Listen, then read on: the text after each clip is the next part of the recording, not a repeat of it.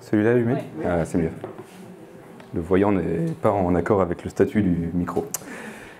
Euh, eh bien, j'espère que ça va. Euh, N'hésitez pas à...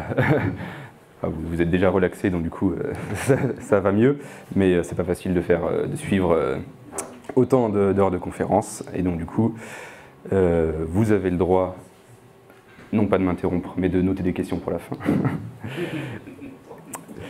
Et euh, je rigole, si c'est vraiment important, vous avez le droit.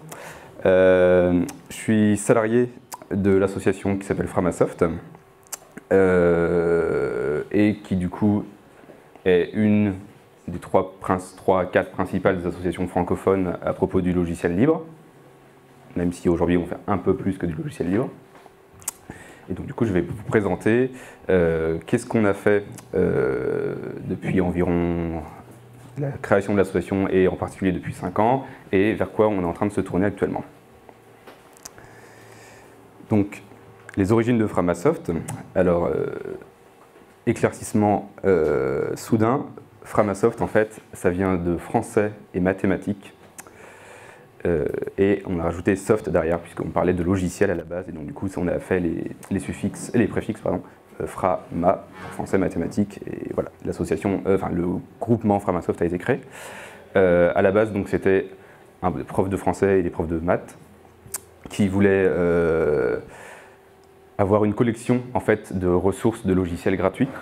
Et là, j'ai bien gratuit, j'ai bien dit pardon, gratuit et pas libre, vraiment euh, juste de- des logiciels pédagogiques euh, qui leur servaient. Et en fait, ils ont fait un site web euh, qui recensait tous ces logiciels. Et euh, donc, ça a pas mal circulé entre, entre professeurs dans le, dans le secondaire. Et euh, à un certain moment, il y a quelqu'un, il y a plusieurs personnes qui sont venues leur parler d'un mouvement du libre euh, qui avait été popularisé euh, d'abord aux États-Unis et puis qui arrivait en France, et euh, que certains logiciels, ils étaient ce qu'on disait libres. Et puis ça a marché pas mal. euh, L'annuaire qu'on appelle du coup euh, aujourd'hui Frama Libre, euh, il s'est pas mal développé. Et euh, on a eu envie de faire d'autres choses à côté. Euh, on a eu par exemple euh, un projet de maison d'édition, parce que le libre, c'est pas uniquement des logiciels qui sont libres, c'est aussi de la culture. Et donc la culture, par exemple, c'est des bouquins, ça peut être euh, des bandes dessinées aussi, ça peut être des vidéos, de la musique. Et euh, bah, on a justement une maison d'édition qui euh, publie des bouquins en ressources libres que vous pouvez trouver sous forme papier ou sous forme électronique et qui sont du coup libres de droit, en respectant les conditions de la licence que l'auteur a données, mais du coup que vous pouvez pour la plupart modifier, adapter, repartager librement. Euh, on a aussi un blog euh, du coup qui s'appelle le Frama Blog et euh, ça parle pas mal d'enjeux du libre, du encore une fois pas uniquement le logiciel mais de, culture plus large, de services libres. Et il, y a une très grande activité de traduction, principalement évidemment de l'anglais vers le, vers le français, mais voilà, c'est une manière de contribuer à Framasoft qui n'est pas du tout technique. Est-ce qu'il y a des gens qui connaissent ou qui ont déjà entendu parler du nom Framasoft? Ou un, truc qui commence par Frama C'est plutôt pas mal. C'est un très bon score. Euh, eh bien, ça veut dire que du coup, ça, a marché, notre petit cheminement depuis euh, donc, au 2001, le- de la création de, ce réseau-là. On s'est constitué en 2003 en association euh, loi 1901. Et euh, en fait, eh ben, malgré que apparemment pas mal d'entre vous connaissent, on n'est que du coup euh, 35 bénévoles membres. Il y a un peu plus de bénévoles qui font d'autres choses, mais bon, voilà, c'est vraiment les membres, c'est 35. Et euh, on arrive à payer 9 salaires, qui sont quasi tous en CDI, ce qui est plutôt pas mal pour l'associatif, je ne sais pas si vous connaissez. Et du coup, c'est 90%, voire allez, 95% des- du financement provient de, dons de particuliers et quelques entreprises, mais c'est vraiment du particulier. Et donc ça veut dire que, apparemment, on est aimé, c'est bien. Euh, donc on faisait voilà, ces, petits projets autour du logiciel libre, de la culture libre. Et euh, bah, c'était cool. Et puis euh, du coup, avec euh, l'avènement d'Internet, le fait que ça arrivait dans nos vies, dans nos poches, dans le fait qu'il fasse se connecter à Internet pour faire des démarches et compagnie, qu'il est partout, eh ben, on s'est rendu compte qu'en fait, les gens, ils étaient plus uniquement intéressés par des logiciels libres, mais également par des, ce qu'on appelle des services libres. Et donc, du coup, c'est des trucs que vous allez ouvrir votre navigateur Internet, donc de préférence Firefox, pour aller utiliser ces services. Et euh, bah, ça marchait, enfin voilà. Du coup, les solutions qu'on proposait, nous, euh, en disant hey, euh, n'utilise pas Windows, installe un Linux, et n'utilise pas Microsoft Office, installe LibreOffice, c'était plus vraiment au goût du jour. Et en même temps, il y a un mec du coup, qui a été diffusé en grand écran tout à l'heure, qui en 2013 a, diffusé des informations secret défense, où on, s'est rendu compte que les États-Unis, globalement, surveillaient toute la planète. Ça et le fait que du coup il y a eu le tournant entre le logiciel libre et le service libre, enfin pardon, entre le logiciel et le service, ça nous a euh, donné l'idée de faire une campagne qui s'appelle Dégongoulison Internet, euh, dont le nom est évocateur, mais ça ne se limite pas évidemment à Google, malgré le fait qu'ils sont euh, bien sur la toile. Et donc on s'est dit, on va essayer pour euh, chaque service qui existe, de Google, mais aussi du coup euh, de Facebook, euh, de plein d'autres acteurs, pas Amazon parce qu'on n'avait pas envie de gérer les stocks du marché mondial, mais voilà, il y a pas mal, de, services Google et pas mal d'autres services qui ont le même système économique et qui sont problématiques pour tout un tas de raisons que je ne vais pas forcément réexpliquer parce que vous en avez déjà pas mal entendu parler. On s'est dit, voilà, on remplace sur une période d'environ 3 ans, on sort plein de services disponibles en accès libre et on respecte les données et on prouve que c'est possible. Donc voilà, pourquoi il fallait dégoogliser Internet euh, L'approche que je présente, du coup, euh, Tristan Lito, du coup, il présente euh, ces problématiques sous le prisme de la, vache à lait que vous avez vu. Euh, que ce n'est pas une relation de commerce. Et nous, on présente ça plutôt sous la forme de la triple domination. C'est-à-dire que on est tout petit face à Google et aux autres géants du web, parce qu'on avait vraiment des géants, euh, qu'on appelle du coup, enfin qu'on dénomine sous la forme GAFAM. on a d'abord une domination technique, c'est-à-dire que tout ce qu'on fait sur Internet passe à peu près par ces géants-là. Et donc du coup, il y a plein de contenus et plein d'utilisateurs. Et euh, non seulement tout ce qu'on fait passe par là, mais tout ce qu'on fait, non pas uniquement devant son ordinateur, mais c'est ce qu'on fait aussi avec son téléphone, c'est ce qu'on fait aussi à la maison, si vous avez une enceinte connectée ou un système du genre, euh, ou même euh, maintenant il y a même des, systèmes pour descendre les volets automatiquement à partir de votre téléphone. Voilà, ça vient vraiment dans toutes nos vies, dans, dans, votre voiture aussi, vous pouvez avoir un écran tactile qui permet de gérer vos, appels téléphoniques et c'est relié aussi à votre compte Google. Donc voilà, ça vient dans tous les aspects de notre vie et on est potentiellement obligé euh, d'aller consulter euh, Facebook parce que c'est là que la mairie du coin ou ma CAF locale eh ben, diffuse ces informations. Et donc du coup voilà, à chaque instant de nos vies, on est obligé euh, de les utiliser et donc du coup ils nous dominent complètement techniquement parce qu'ils gèrent tout de bout en bout et nous à côté on ne peut pas se dire bah, je vais gérer moi-même ces aspects-là puisque je ne peux pas, je n'ai pas les compétences techniques. Euh, donc il nous domine techniquement.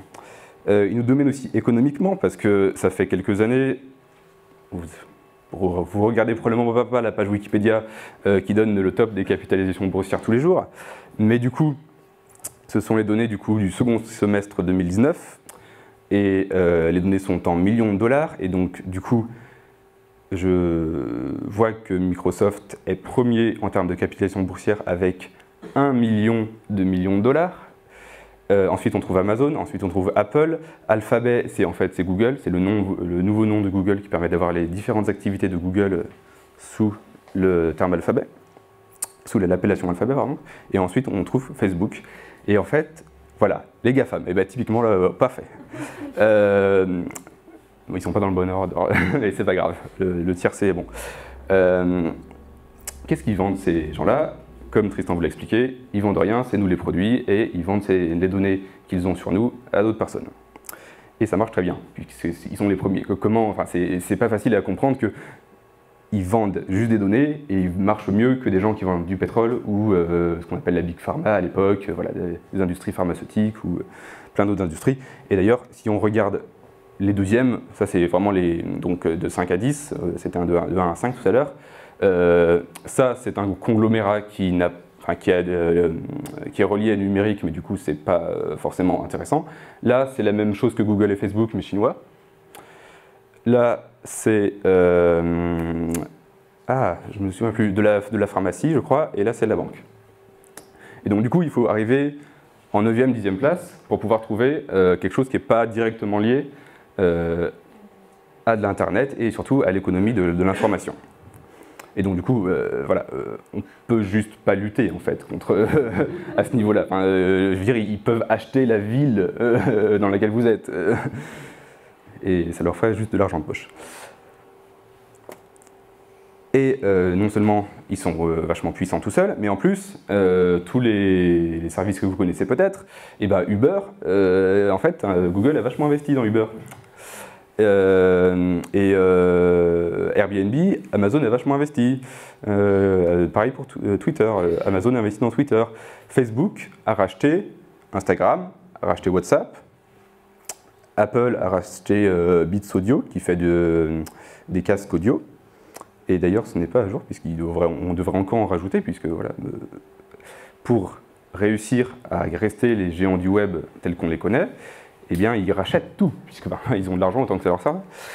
Euh, et donc, du coup, bah, y a, bah, là, c'est des des aspects euh, antitrust, et donc du coup pour, être sûr qu'il n'y ait pas de, concurrence, mais bon, je ne vais pas m'étendre là-dessus, en tout cas, euh, le marché n'est pas. Euh, finalement, une domination culturelle. le fait est que du coup, toutes ces entreprises, à part les chinoises qu'on a vues, elles viennent de Californie, donc ça veut dire que la, loi sur les données, c'est uniquement la, vision de la Californie, des États-Unis en général, on va dire. Donc du coup, la manière dont ils pensent les réseaux sociaux, c'est imposé de la, de la manière qu'ils voient. Le design de certaines applications, euh, c'est imposé par Google, par exemple. La morale, le fait que sur Facebook, on ne puisse pas mettre euh, une photo de l'origine du monde ou une femme en train d'allaiter, euh, et bien voilà, c'est parce que les, États-Unis adorent voir de la violence, mais par contre, un bout de, de sein, ils n'aiment pas ça. Euh, voilà, donc ils nous imposent en fait ces, visions-là, on n'a pas le choix, puisque bah, on, est obligé d'accepter leurs conditions d'utilisation, et donc du coup, si jamais on, fait, euh, on veut faire quelque chose à côté, euh, enfin, on faire quelque chose qui ne leur convient pas, ils ont tout à fait le droit de nous dégager. Et donc du coup, en cela, l'influence culturelle qu'ils ont sur nous, c'est un peu comme un nouvel Hollywood, dans le sens où Hollywood, enfin le, cinéma français ne, diffusait que des films d'Hollywood, et donc du coup, en utilisant Internet, on, est influencé par euh, euh, cette vision états-unienne.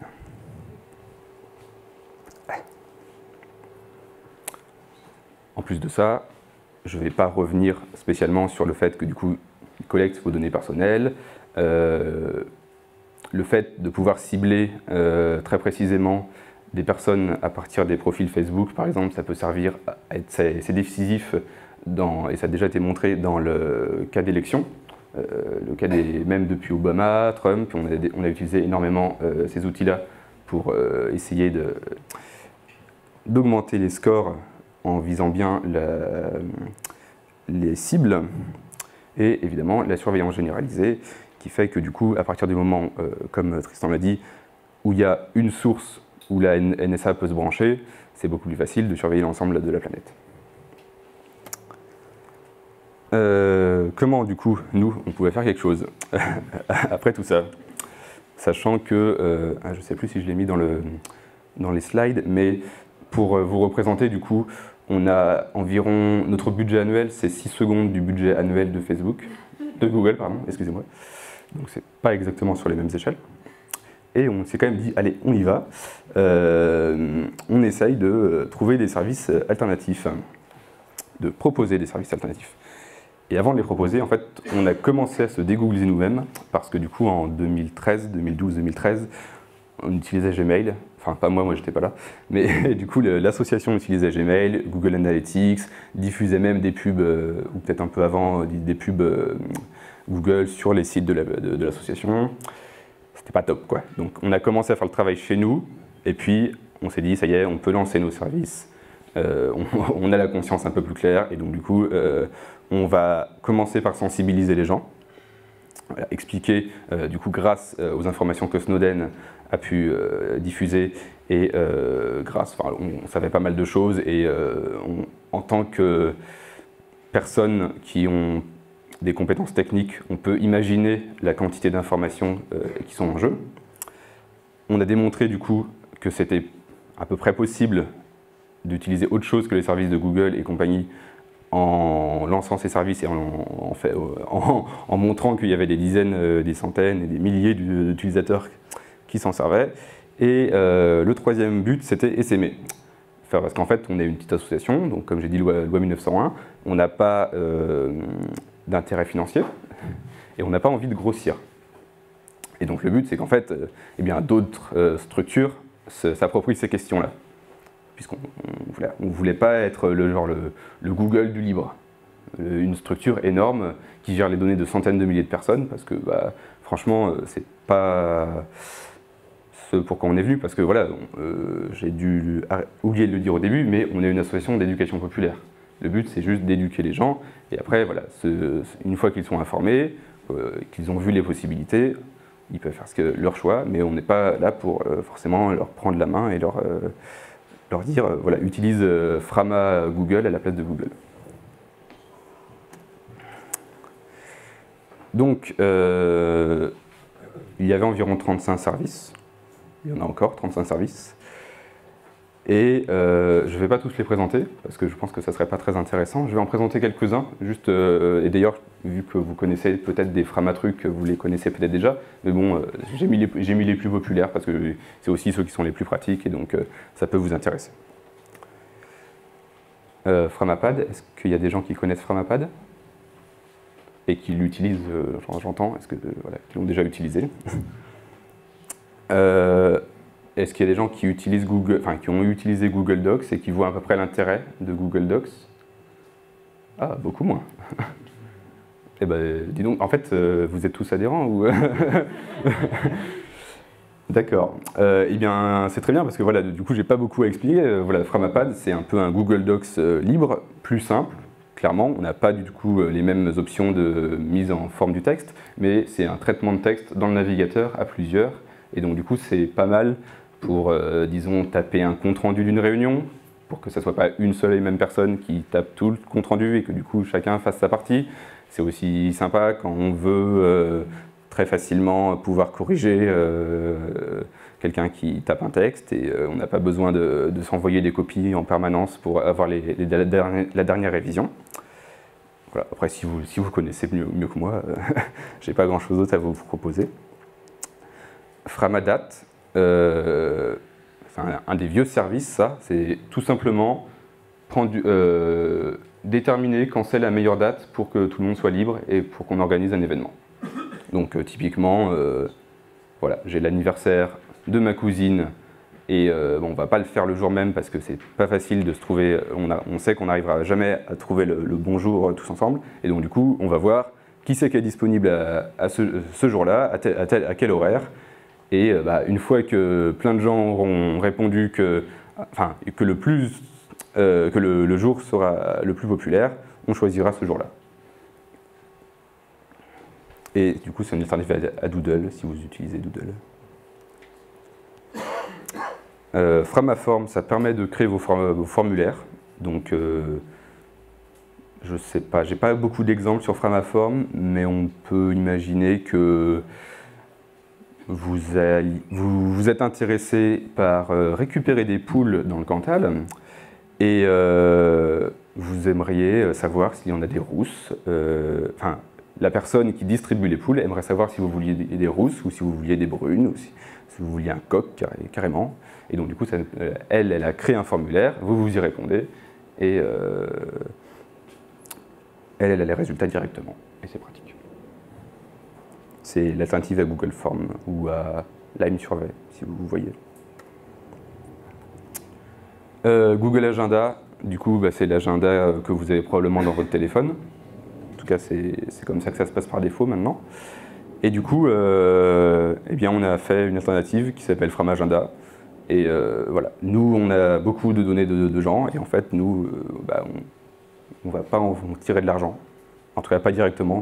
Peut-être qu'il y a des gens qui sont intéressés pour faire des dons, mais du coup, ce n'est pas, pas notre but en le faisant. Et euh, du coup, bah, vous pouvez mettre à la fois vos agendas, vos contacts, vos tâches, vos notes, tout dans, dans Agenda. Et euh, c'est synchronisé sur tous vos appareils de manière assez simple. Et voilà, ça marche pas, plutôt, pas, plutôt pas mal. Bon, là, il y a beaucoup trop de gens, donc il va falloir euh, essayer du coup d'essaimer.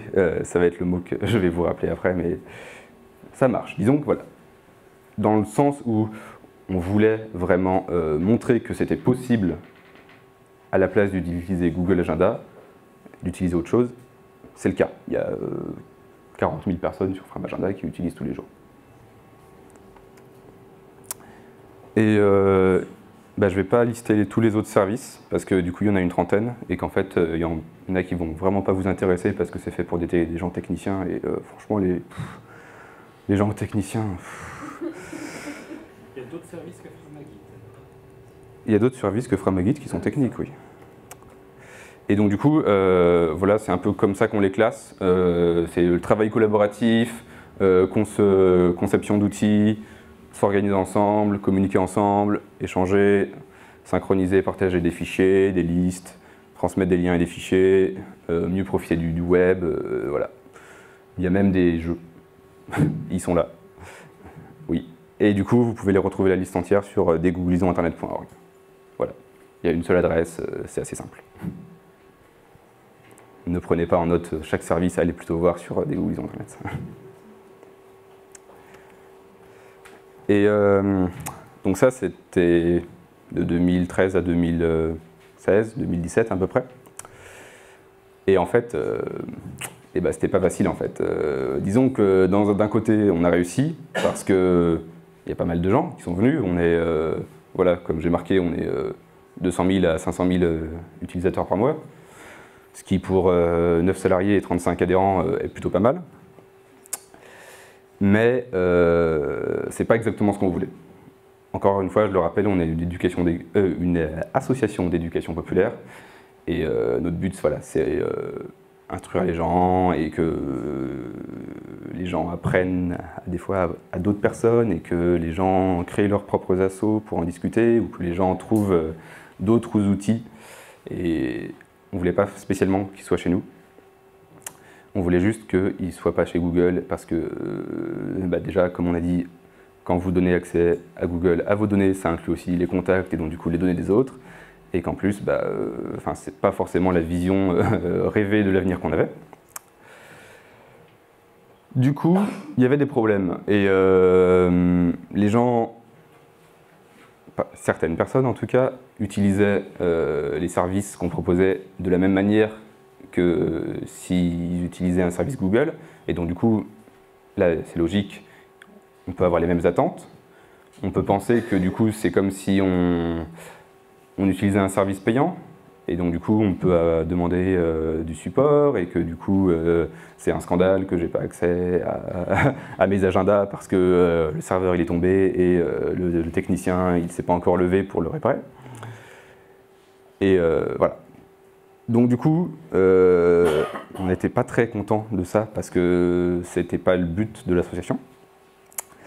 Et on s'est dit qu'il fallait faire quelque chose. Et voilà, il y avait aussi pas mal de logiciels sur lesquels se basaient nos services, que du coup euh, on était tout seul à maintenir. Et c'est embêtant parce que du coup euh, on a, voilà, on a quelques compétences techniques, mais on n'est vraiment pas, euh, on vraiment pas les plus doués là-dessus. Donc du coup, eh bien, il y aurait pu y avoir des failles de sécurité ou d'autres raisons. Et donc du coup, voilà, les gens ils utilisent nos services, mais on n'était pas très chaud là-dessus.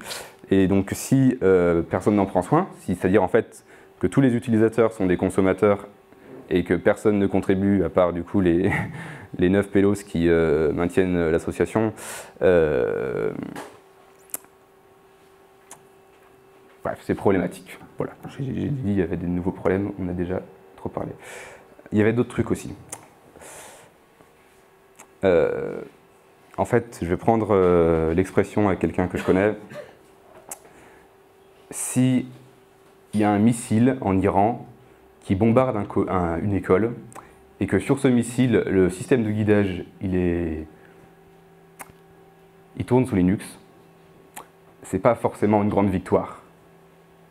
C'est-à-dire que si le libre, ce qu'on appelle le libre, le logiciel libre, euh, il, voilà, il, ajoute des libertés, et bah, euh, si euh, la liberté c'est juste faire en sorte que tout fonctionne sous Linux, mais bon, on, ça sert à rien, Google il fonctionne sous Linux. Hein. Facebook aussi, hein. donc on n'est pas beaucoup plus avancé à ce niveau-là. Il on a commencé à avoir une vision un peu plus large que juste faire en sorte que bah, un demi-million de personnes utilisent moins Google. Et donc euh, typiquement, euh, voilà, euh, quand vous achetez un appareil chez Samsung, c'est des ouvriers qui suicident et donc du coup on installe des filets en dessous de leur usine pour éviter que qu'ils touchent terre. quand vous utilisez un Uber ou euh, vous faites livrer de la nourriture avec euh, un service qui s'appelle Deliveroo, vous exploitez des gens qui sont euh, complètement sous-payés, qui n'ont pas de garantie au niveau du travail. Ça. Quand, encore une fois, vous achetez un téléphone, il faut la production, qui consomme ce qu'on appelle des terres rares, donc des métaux précieux. Et euh, ces métaux précieux, il y en a une quantité limitée sur Terre. Et donc du coup, euh, qu'est-ce qu'on fait quand il n'y en a plus? Tout euh, l'Internet, ça consomme de l'énergie. Très difficile de calculer combien et on ne va pas s'aventurer à faire ça, mais on sait que c'est relativement énorme. Et il y a aussi tout le fait que bah, c'est les déchets, c'est très mal recyclé, et donc du coup, encore une fois, pour les terres rares qui commencent déjà à manquer, ça risque d'être problématique.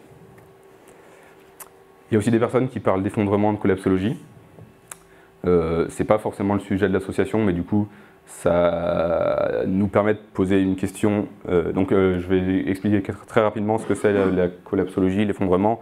C'est le fait que toutes les crises euh, qu'on peut avoir, du coup, financières, climatiques, sanitaires, économiques et la pénurie de, matières premières, ce serait lié. Par exemple, que le fait que si jamais on n'a plus du coup de silicium pour pour euh, nos ordinateurs, et bah, du coup, euh, qu'est-ce qui se passe euh, dans un monde où alors il y a une crise climatique, et qu'est-ce qui se passe pour la finance, ou l'inverse, s'il y a une crise financière, qu'est-ce qui se passe dans le reste du monde, et en général, c'est pas forcément bon. Bref, qu'est-ce qui se passe du coup si le monde il marche plus très bien et on, a on sait faire du logiciel libre? Et bah du coup, c'est pas uniquement, bah, voilà, on a contribué 500 000 lignes de code à Linux, euh, c'est que euh, le logiciel libre, il a les concepts euh, de contribution, il a des valeurs de partage, il a voilà, d'autres aspects qui sont communautaires et qui ne sont pas du coup forcément liés au capitalisme qui, qui du coup crée ces crises. Et euh, on s'est dit qu'en fait, dégoogliser, ça suffisait pas. Parce que, euh, voilà, comme on a vu, on est complètement dominé par les GAFAM. Et euh, bah, on peut continuer à faire notre truc dans notre coin. Enfin, en fait, non, c'est pas ça. On peut continuer à essayer de trouver des alternatives aux GAFAM, mais on sera toujours ridicule. Et ça, ça ne marchera pas. Et du coup, on s'est dit, on va faire ça autrement. On va faire nos trucs dans notre coin et on va essayer de faire en sorte qu'on euh, donne les outils à ceux qui veulent, changer le monde. Et là, c'est pas spécialement politique, en tout cas, c'est pas forcément partisan, mais du coup, euh, on est un peu utopiste sur le, sujet, et on se dit que, euh, bah ouais, voilà, on ne veut pas juste que vous utilisiez moins Google parce qu'on pense que c'est mal, on veut juste que vous utilisiez moins Google parce que utiliser Google et enrichir Google, ça participe à une société, à une société qui nous plaît pas trop. Et donc, euh, ce graphique est super, est super quand même. Euh, cette euh, campagne nouvelle qu'on a lancée en 2018, 7, je sais plus, qui s'appelle Contributopia, donc elle veut outiller numériquement la société de contribution. prévoir les outils, prévoir les méthodes pour faire en sorte que les gens qui veulent changer quelque chose, eh bien, ils puissent plus facilement dans le monde numérique. Et donc typiquement les gens qui sont des journalistes, qui peuvent être des activistes, qui peuvent être des simples personnes qui essayent de changer euh, les choses à leur travail, ils aient des outils et que ces outils-là, ce ne soit pas Google qui les aide parce que ce n'est pas forcément eux qui ont envie de changer les choses. Et donc du coup, on fait malgré eux et on fait dans notre coin. Et on essaye de porter un certain nombre de valeurs. Donc le premier axe de Contributopia, c'était faire en sorte qu'il y ait des outils. Euh, donc ça rejoignait un peu des Googlisons Internet, dans le sens où c'était toujours euh, des aspects techniques, où on a du coup donné une plateforme pour pouvoir euh, créer des blogs et créer des pages qui ne soient pas du coup soit des blogs sur Medium ou des pages sur Facebook. PeerTube, c'est un logiciel qui permet de voir des vidéos euh, en pair à pair, euh, un peu comme, euh, vous vous rappelez le torrent, je ne sais pas si les gens, ça, vous rappelle, ouais, ça fait un peu peur, hein, je sais. Mais du coup, voilà, c'est une, solution qui permet de faire un, système semblable à YouTube sans avoir les, les moyens de YouTube, parce qu'en fait, YouTube, eh bien, c'est genre 20% du trafic Internet. Stéphane va peut-être me me confirmer. Il me semble qu'on avait des stats sur, ça. Sur les, sur les, oui, le problème, c'est comment on mesure le trafic Internet. Juste... Je, je, parlais au niveau français. Il me semble que, non, que la FNIC... C'est la vidéo. En fait, c'est beaucoup plus dur à mesurer parce que ça dépend de ce qu'on décide de mesurer. Si on mesure le nombre d'octets, ça sera toujours la vidéo qui dominera. Si on mesure par contre le, en termes monétaires ce que ça représente en fric, bah, à ce moment-là, des documents PDF vaudront peut-être plus cher euh, que la vidéo de Python. Et, puis, si on mesure en termes d'utilité sociale, alors là. Oui, c'est complètement différent. Du coup, je voulais juste dire, enfin, c'est une masse non négligeable en tout cas, une masse importante, le fait de la vidéo, et donc du coup, c'est très cher de faire un concurrent à YouTube. Dailymotion a essayé, il s'est fait financer à coups de millions par Orange et l'État, ça n'a pas marché. Et donc du coup, PeerTube, euh, en théorie, il permet de faire ça sans avoir besoin euh, de millions parce que du coup on partage la bande passante avec les, mêmes, les autres personnes qui regardent la vidéo. On s'échange en permanence des bouts de vidéo et donc du coup il n'y a pas besoin d'avoir de, l'argent euh, pour payer les transmissions entre moi et le serveur et donc en théorie ça marche bien. Et donc voilà, vous pouvez mettre vos vidéos, ça ne sera pas censuré, enfin vous, pouvez trouver un serveur où mettre vos vidéos, ça ne sera pas censuré par YouTube. Les, conditions sont celles de, la personne qui fournit le serveur. Et Mobilisons, c'est pareil, euh, dans le sens où c'est aussi ce qu'on appelle fédéré, et donc du coup le, pouvoir est réparti.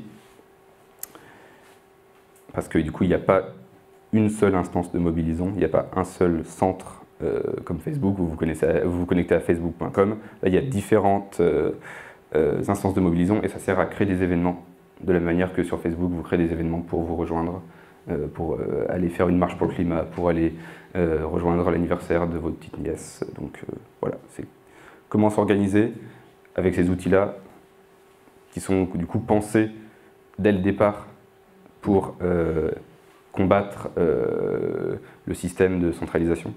Que par exemple, il y a plein de logiciels libres, comme j'ai dit, euh, qui sont utilisés par Google et Facebook. Linux est par exemple utilisé par Google et Facebook. Là, Google et Facebook ne pourraient pas utiliser un tel logiciel parce que ce n'est pas dans leurs intérêts, comme il est décentralisé. Comme, encore une fois, on une association d'éducation populaire, on va essayer de transmettre les savoir-faire. Et donc du coup, ça c'est typiquement euh, avec les chatons. Je ne sais pas si vous étiez là hier, il y avait une conférence sur les chatons. Et donc typiquement, ce sont des petits Framasoft qui sont localement près de chez vous. Donc il y en a un à Brest qui s'appelle Infini, euh, et vous pouvez aller vous renseigner sur leur site. Et euh, bah, ces chatons-là, c'est comme, voilà, ils proposent plus ou moins les mêmes choses que Framasoft, mais en plus, eh bah, euh, comme Framasoft, c'est pas un peu présent partout, vous pouvez aller voir les personnes. Et ça, c'est très important, parce qu'en fait, quand vous donnez votre confiance euh, à quelqu'un, c'est plus sympa quand vous la faites autour d'un verre. Parce que voilà, vous avez uploadé vos fichiers sur Google Drive, vous avez posté un message sur Facebook, et en fait, vous n'avez pas spécialement confiance en Google ou Facebook. Enfin, en tout cas, j'espère pas après tout ce que ce qu'on vous dit. Et là, eh bien, les gens, ils sont près de chez vous. Et donc, euh, c'est vous qui faites confiance à la personne. Voilà. Internationalisation, ça veut dire qu'on va s'exporter à l'étranger, globalement. Et qu'on va faire en sorte qu'il y ait plein de Framasoft un peu partout. Et que le, concept, euh, de la même manière que les chatons, vous n'êtes pas obligé de venir sur le site Framasoft pour aller faire euh, vos, outils. Enfin, du coup, on fait de la médiation numérique, donc du coup, il y a des gens qui viennent expliquer en quoi c'est bien Framasoft. On fait des contrib ateliers, parce que comme du coup j'ai dit, eh bien, la force du libre, c'est vrai, et les valeurs du libre, c'est vraiment que tout le monde peut, enfin, contribue. Et le problème aujourd'hui, c'est qu'il n'y a que des gens qui sont techniciens qui contribuent, et on aimerait bien qu'il y ait d'autres personnes, euh, typiquement des traducteurs, des gens qui veulent tester des logiciels, euh, des gens qui veulent améliorer des logiciels, euh, contribuent. Et c'est pas gagné.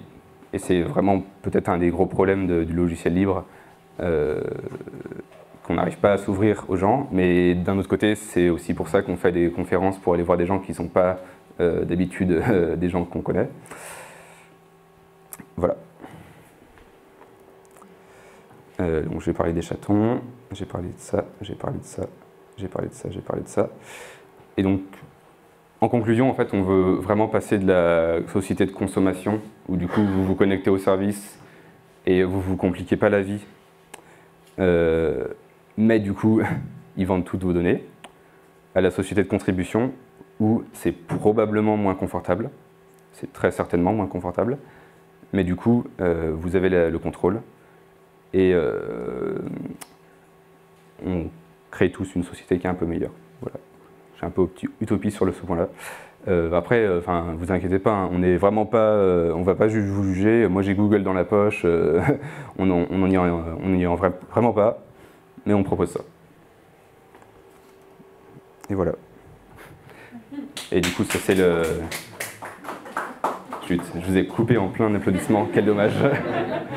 c'est un peu le slogan, du coup, la, route est longue, mais la voie est libre. Euh, voilà, pour dire euh, que bah, c'est pas gagné, mais on peut y arriver.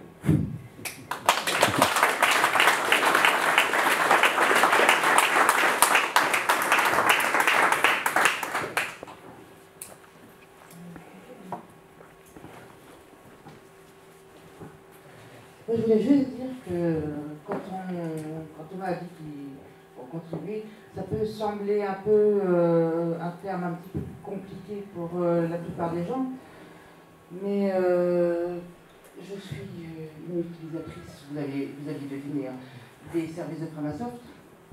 Et la contribution, c'est aussi juste dire, ben voilà, ce que je vous disais hier pour ceux qui étaient là, c'est juste dire, ben, pas, je n'ai pas réussi à faire ça, je n'ai pas trouvé le bouton.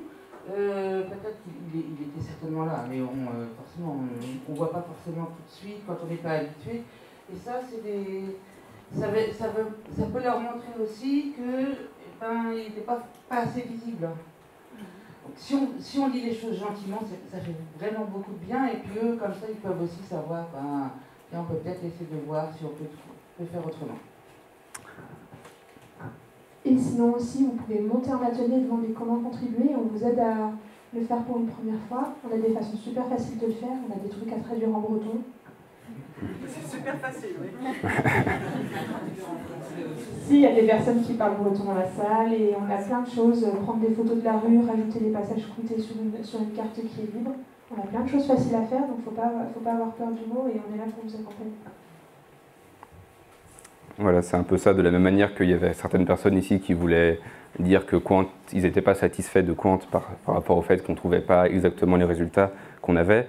Euh, si je vais sur euh, Quant Maps et que les horaires de ma boulangerie, je suis très frustré parce que du coup les horaires ne sont plus à jour euh, et donc du coup je me retrouve dans la boulangerie, elle est fermée, par exemple, eh bien je peux aller modifier ces horaires-là. Et du coup je contribue et tout le monde en bénéficie.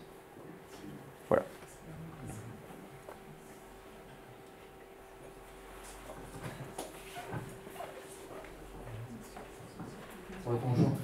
Il y a une loi européenne euh, antitrust, et il n'y a pas de promotion pour le livre.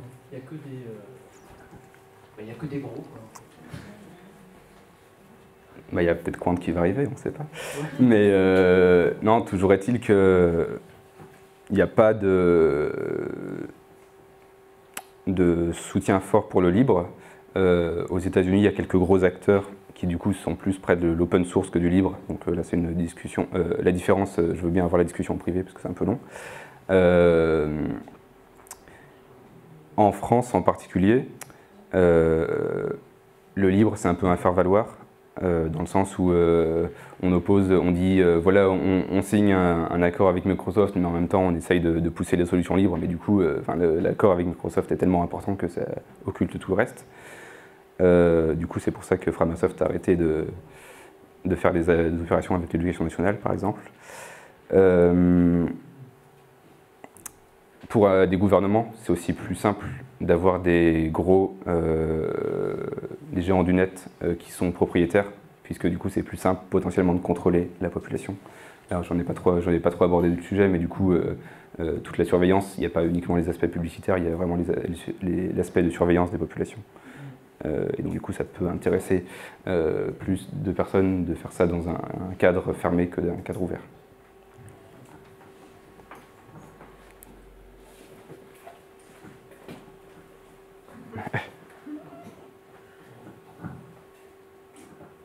Il faut aussi dire que pour le grand public, celui qui ne connaissait pas déjà le livre, c'est pas toujours facile de, le trouver. C'est pas facile de savoir que ça existe euh, si on n'en a jamais entendu parler. Et c'est aussi pour ça que, que Entrée Libre a été euh, créé, c'est pour que euh, si vous avez l'information, vous puissiez vous aussi la passer et plus, le monde sera au courant que ça existe, plus il y aura de gens à utiliser. Voilà, en fait, ça dépend de vous, au final. C'est pas pour vous mettre la pression.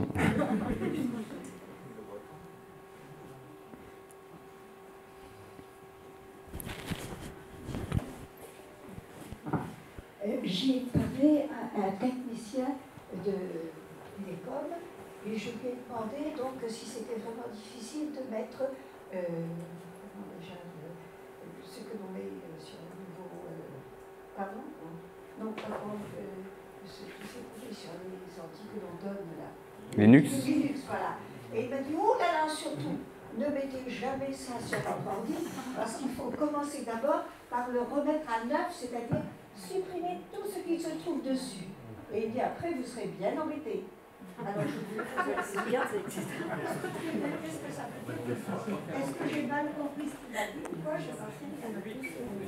Alors, c'est un sujet un peu complexe, mais en effet, votre question est valide. Euh, et sa réponse, dans un sens, est valide.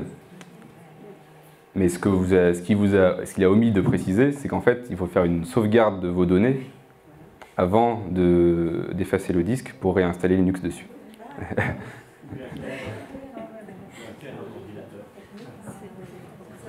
La solution, c'est de venir samedi après-midi, lors de la salle vous rencontrerez des, gens, des bénévoles euh, qui vous expliqueront ce qu'on peut faire et ce qu'on doit faire pour installer Linux et conserver ses Windows et, ses données.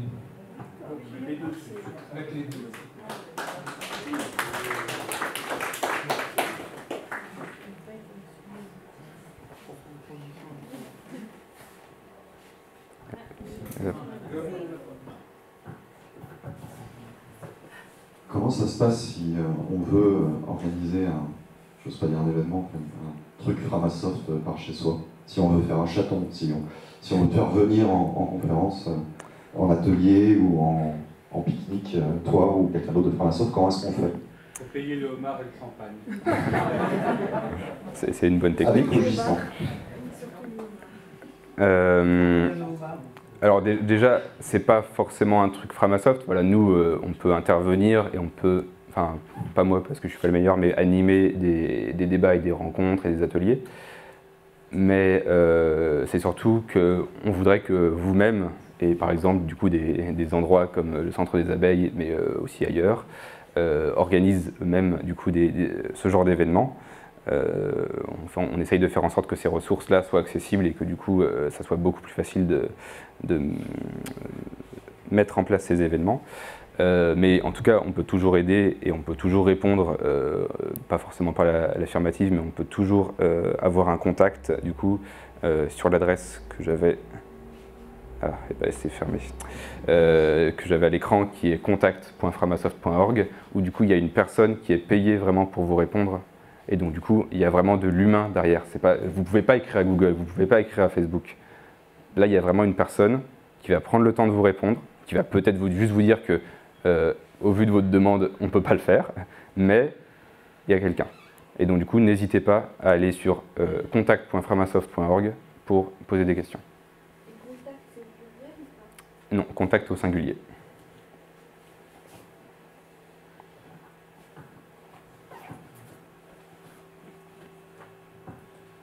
Euh, vous m'avez convaincu, donc je vais catégoriser euh, dès ce week-end. Euh, tout ce qui est agenda électronique, euh, mes fichiers, euh, mes lettres, mes textes, euh, est-ce que je pourrais les importer ou en fait euh, ça j'oublie et je, je pars de zéro? Est-ce que c'est Vous pouvez absolument le faire à partir du moment où vous avez le contrôle dessus. C'est-à-dire que si ces données-là sont effectivement sur euh, votre ordinateur ou que vous avez des moyens d'exporter ces données-là euh, sur votre ordinateur, vous pouvez les réimporter dans d'autres systèmes. Il y, a, euh, peu de chances qu'il y ait des, données que vous ne puissiez pas récupérer. La meilleure solution, je dirais, c'est typiquement d'aller voir du coup du côté du Château Infini qui est à Brest et euh, leur site web en tout cas pour voir du coup qu'est-ce qu'ils proposent. Euh, il me semble que du coup, je, ne suis pas, euh, je devrais vérifier, mais il me semble qu'ils proposent un, service du coup d'hébergement d'agenda, contacts et fichiers. Et donc du coup, peut-être payant, je ne me souviens plus. Mais voilà, ça correspondra un peu à vos idées. Et pour peu que vous n'ayez pas vraiment un truc complètement fermé, vous pouvez garder vos, enfin, vous pouvez mettre vos anciennes données, il n'y a pas de souci.